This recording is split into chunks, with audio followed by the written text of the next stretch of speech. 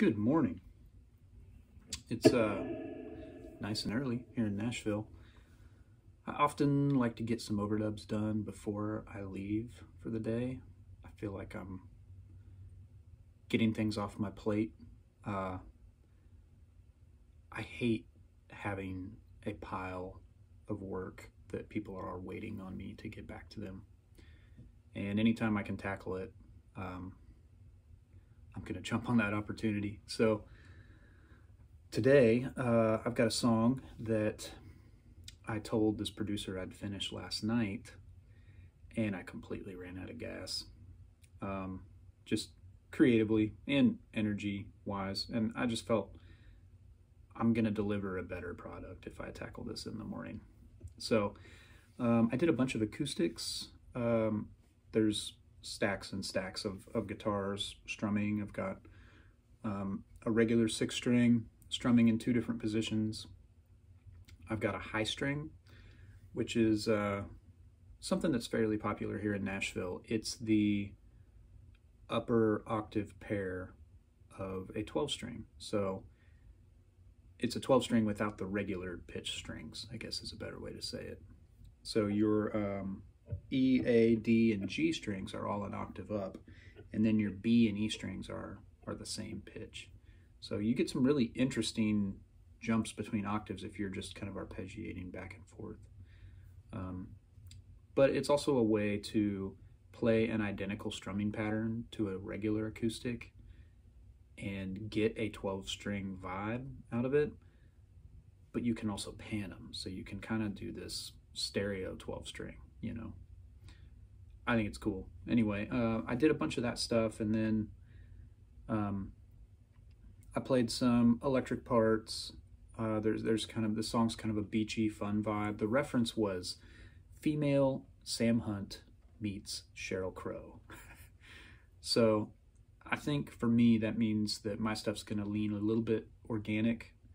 Um, Sheryl Crow, you know, the, the stuff that, know, like Tuesday Music Night, Tuesday Night Music Club or what that record, it's very Americana in terms of the instrumentation. It's, it's a, it's a band with jangly guitars and pedal steel. And, um, so I think, I think I'm supposed to stay a little organic, uh, as far as tones go, but the Sam Hunt reference makes me think that everything needs to be kind of hooky. You know, I can't just um, play play a diamonds, just mark the changes. I got to come up with a cool part. So, um, a lot of times I'm I'm looking for something that's going to tie everything together, and I think I've found it for the electric. Uh, I've got my CE1 on, the best chorus pedal of all time and uh, I've got a long cathedral reverb from my Meris Mercury 7.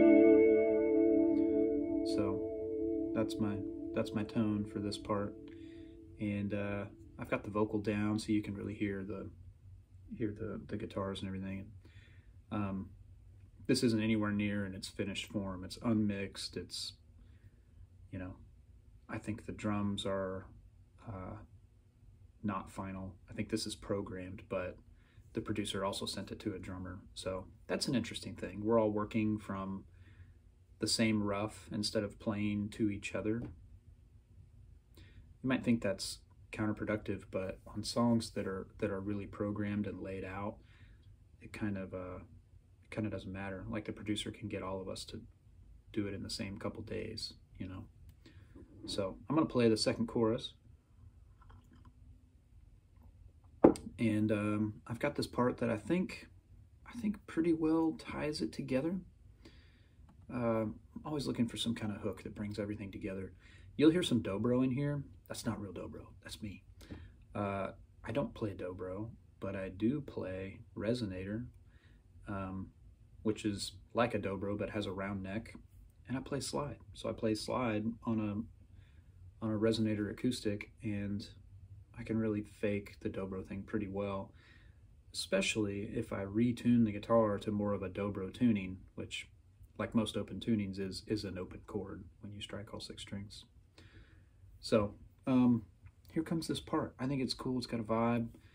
Uh, I might send it off to him and he might say, uh, the chorus is weird. It makes me think of big teased hair and 80s bands or something. That's fine. I think it's really cool. Um, and obviously, he trusts me to some extent because he hired me and uh, isn't here to produce me. So um, often we'll just we'll just chat. You know, he'll he'll call and, and tell me tell me what he wants, like the the Sam Hunt and Sheryl Crow reference, um, the organic hooky kind of stuff. You know, so I think I know what we're aiming at, and if this doesn't quite nail it, then he'll get back to me and, and say, hey, could you change something? And that's totally cool. We're on the hunt for the right parts together. So, all right, let's check this out. Help if I record enabled a track.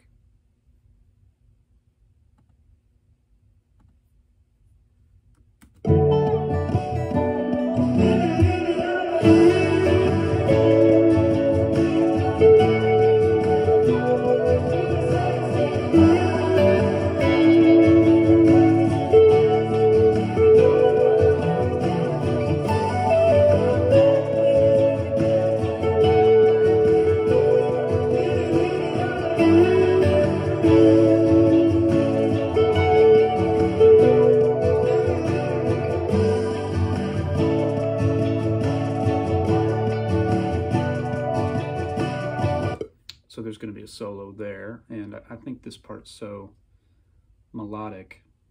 Um, I don't want it to distract from the solo. I, I, think it's cool to have it behind in the chorus, but maybe it's a maybe it's a scene change for the solo when it's not there. So we'll see. Um, and I'm going to put it in the third chorus. And there's an up outro. Actually, the outro has two sections. There's four bars where it's up and the whole band is in, um, which again you're not hearing because this track's not finished and then there's four bars of it being kind of broken down and and sort of like the intro vibe which you didn't hear but it's it's it goes down to acoustic based. And again i'm going to lay out of this part in that down outro because i have a dobro hook that i really like. And i'm going to leave that alone. I don't want this to conflict with that. So here comes chorus three and the up outro. And i'll keep it rolling so you can hear the the dobro thing as well that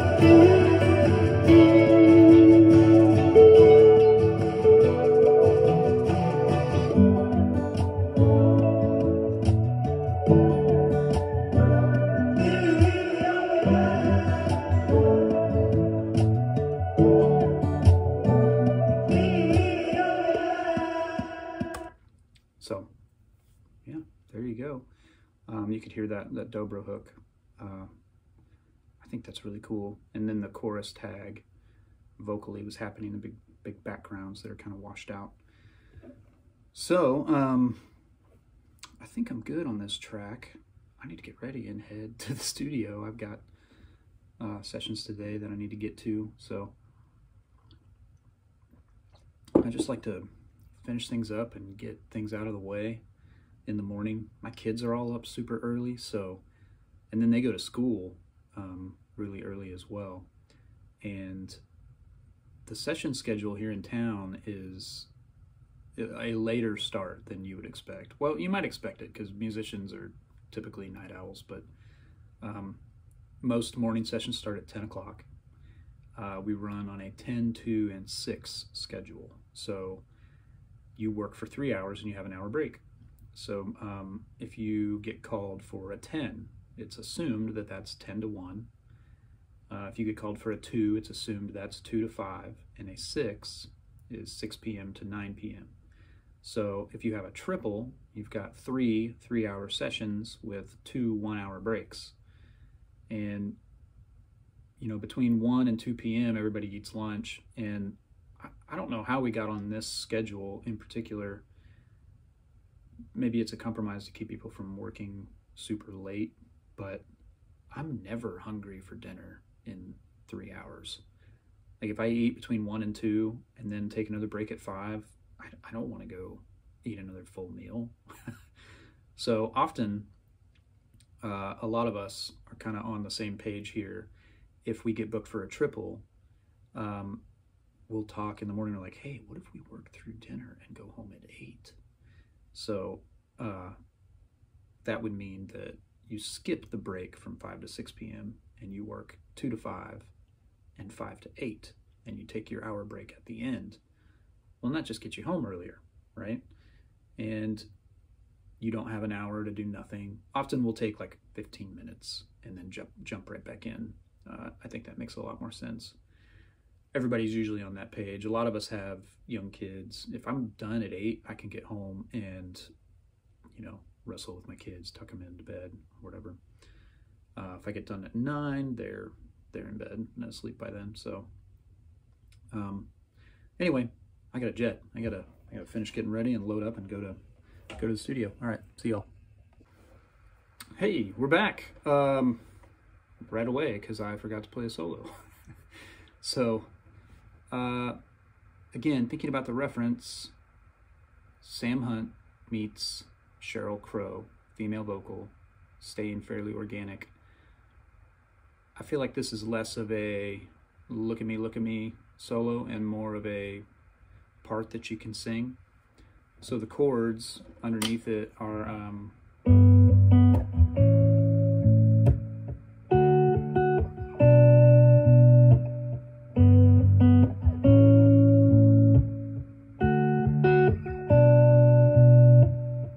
it's just G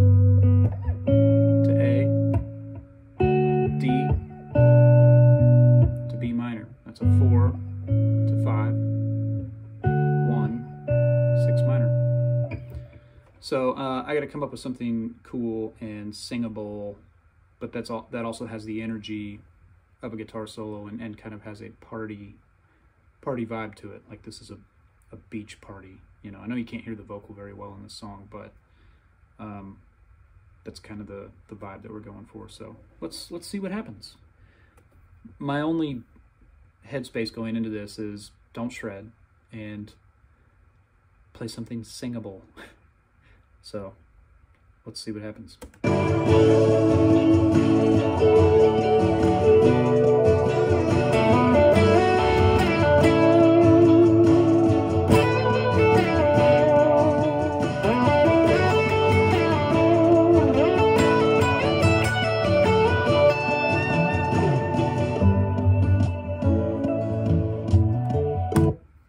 So um, I didn't quite execute that very well. I don't think. Uh, let's try another. I'll playlist that. I've got playlists in Pro Tools. Here comes another one.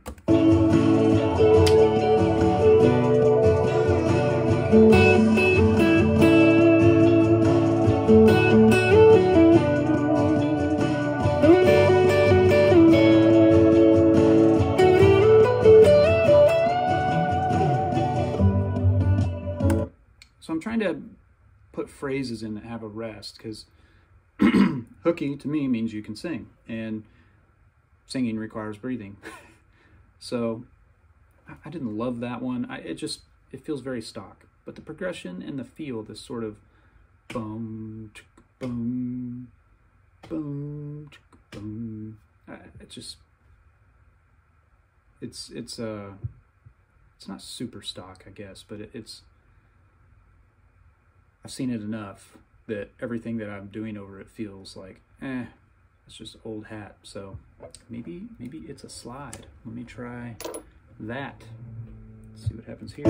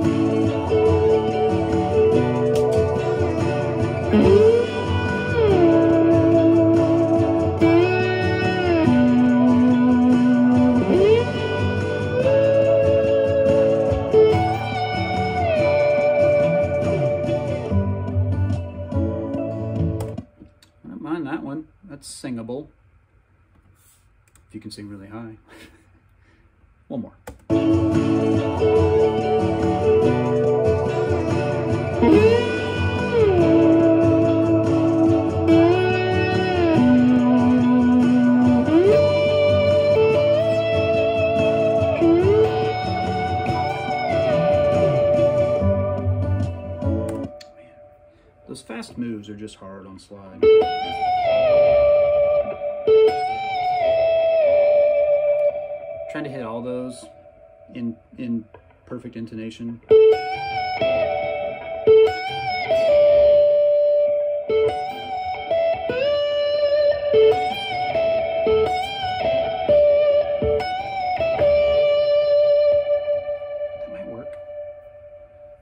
Punch on that? I'm just gonna do another whole one. See what happens.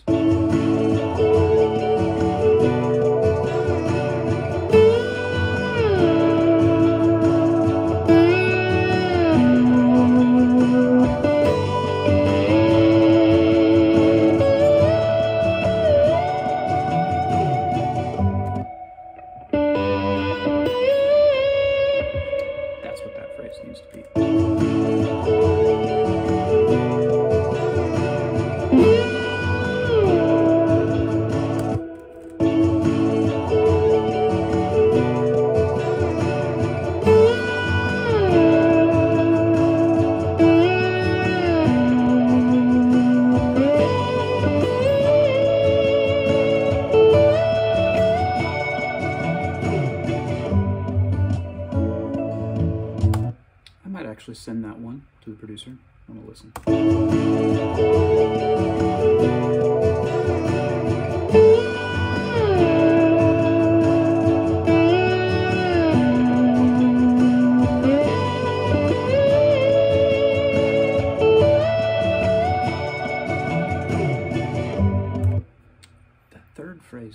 Doesn't quite speak.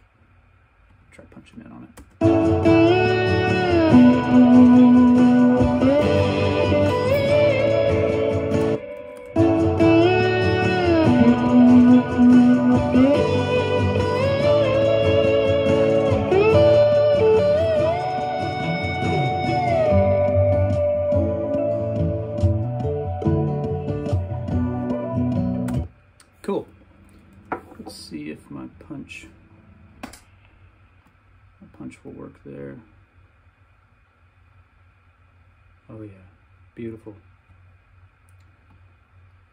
Crossfade.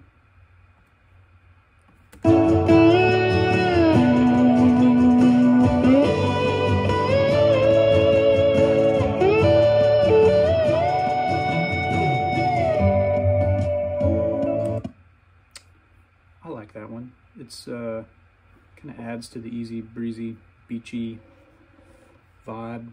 I do have a reggae guitar part, and he did say that it was kind of leaning beach party. That, how's that for a uh, collection of references? Organic, Sam Hunt meets Sheryl Crow, female vocal, party, beachy. Pull all that together, and that's that's what we're going for in this track. So I might try one more, just real simple, good feeling slide thing here on the solo. You can probably hear my laptop fan going. Uh, hopefully that's not too loud.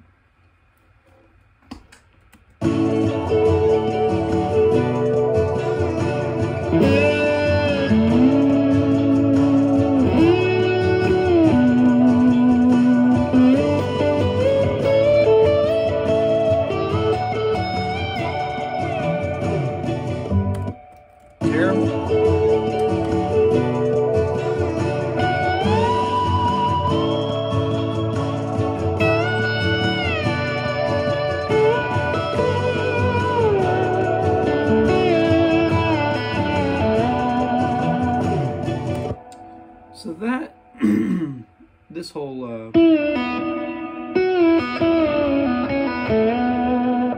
that sort of vibe, I, I was doing that on the dobro on this track. Um, so maybe it kind of ties things together.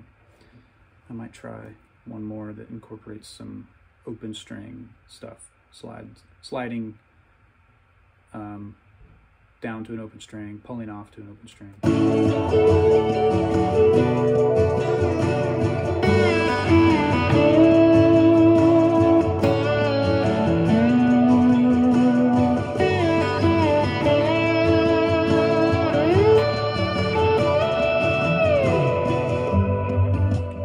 Close.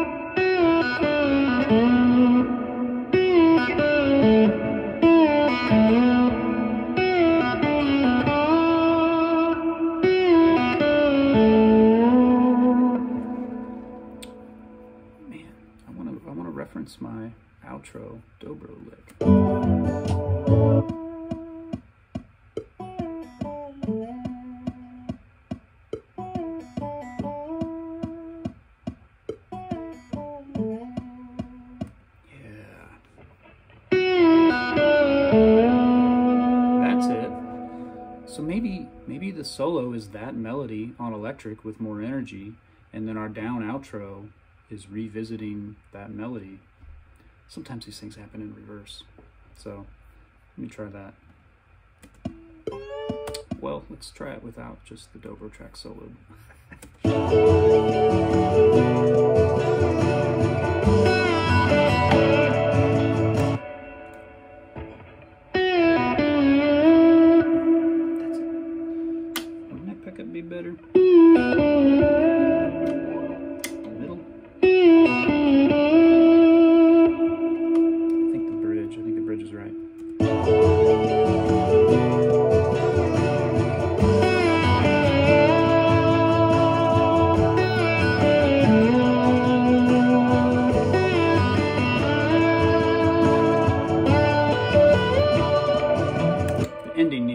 different.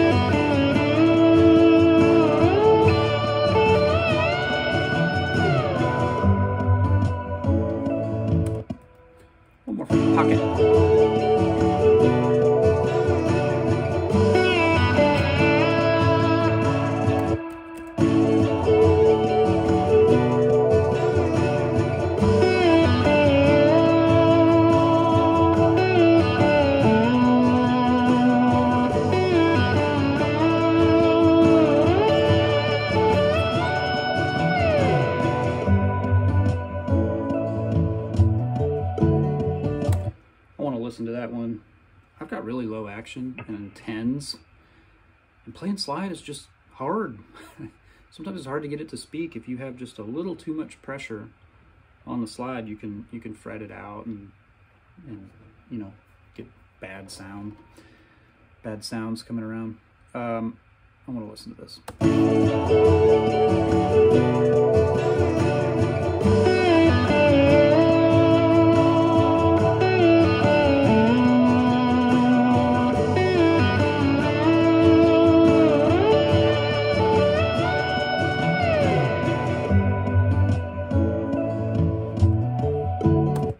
Cool. And then, you know, here's here's the middle of the up outro.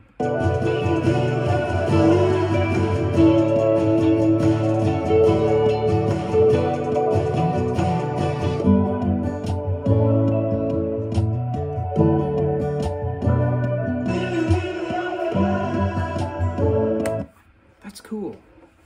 I think that's cool that that it comes back around and and is the dobro in the down part of the outro. So I'm definitely going to send him that one. Um, I want to go back through my playlist, see if there's any others that I want to send here.